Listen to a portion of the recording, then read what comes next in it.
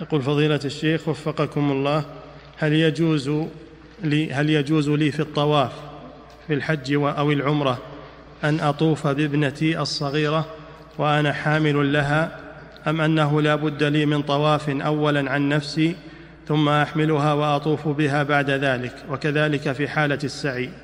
هكذا ذكر الفقهاء أنه يطوف بها أولا ثم أو يطوف لنفسه أولا ثم يطوف بها فلا بد من طوافين لكن هذا فيه مشقة خصوصا بالوقت الأخير والزحام والخطر.